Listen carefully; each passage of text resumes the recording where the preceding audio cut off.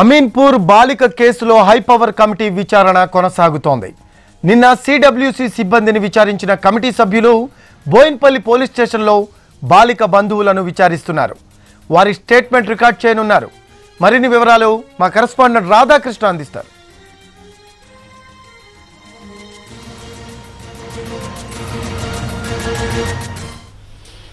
అమీన్పూర్ బాలిక లైంగిక దాడి కేసుకు సంబంధించి హైపవర్ కమిటీ తన దర్యాప్తును వేగవంతం చేసింది. నిన్న సిడబ్ల్యూసి సిబ్బందిని విచారించిన హైపవర్ కమిటీ ఇవాళ బాలికకు సంబంధించిన కుటుంబ సభ్యులు విచారించబోతుంది. అందుకోసం బోయిన్పల్లి పోలీస్ స్టేషన్కి కుటుంబ సభ్యులు రమ్మని చెప్పడం జరిగింది. కొద్దిసేపటి క్రితమే వాళ్ళ కుటుంబ సభ్యులు ఇక్కడికి రావడం జరిగింది. బాలికకు సంబంధించిన సోదరులు ఇద్దరు ఉన్నారు. వాళ్ళల్లో ప్రీతి అనే అమ్మాయితో పాటు మరొక అమ్మాయి మరొక మహిళ కీర్తన. వీళ్ళిద్దరు కూడా ఆ బాలికకు సంబంధించిన సోదరులు.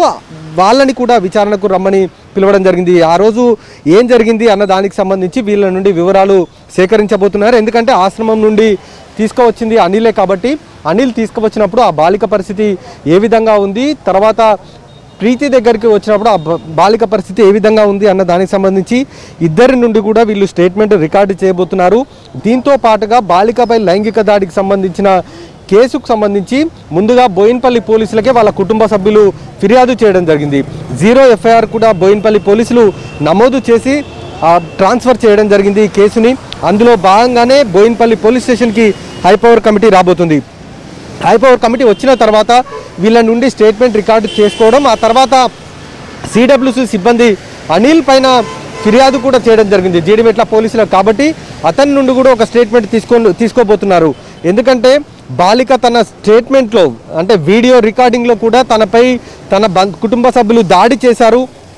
బ్లాక్ కలర్ కేబుల్ తోటి తనను కొట్టారంటూ కూడా చెప్పడం జరిగింది కాబట్టి ఎవిడెన్స్ చెప్పడం జరిగింది కాబట్టి వాటిని కూడా పూర్తి స్థాయిలో రికార్డు చేయబోతున్నారు. అసలు అనిల్ బాలికను ఎందుకు కొట్టాల్సి వచ్చింది అన్న దానికి సంబంధించి కూడా స్టేట్మెంట్ రికార్డు చేస్తుంది హై పవర్ కమిటీ. ఎందుకంటే ఒకవైపు బాలికను ఆశ్రమంలో ఆమె పైన లైంగిక దాడి జరిగి బాధతో ఇంటికి వస్తే ఇంట్లో కూడా ఆమె పైన శారీరకంగా దాడి చేయడం జరిగింది. కాబట్టి ఈ రెండిటికి సంబంధించిన స్టేట్మెంట్లు రికార్డు చేయనున్నారు కుటుంబ సభ్యులని. ఆ తర్వాత ఆ- ఆశ్రమానికి వెళ్ళనున్నారు హైపవర్ కమిటీ. మరికొద్ది సేపట్లో హైపవర్ కమిటీ బోయిన్పల్లి పోలీస్ స్టేషన్కి చేరుకోనుంది.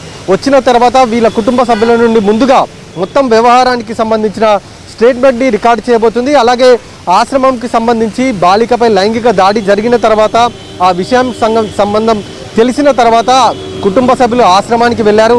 అక్కడ విజయను నిలదీయడం కూడా జరిగింది. ఆ నిర్వాహకురాలు ఎవరైతే ఉన్నారో విజయ ఇప్పటికే ఈమె అరెస్ట్ కూడా చేశారు.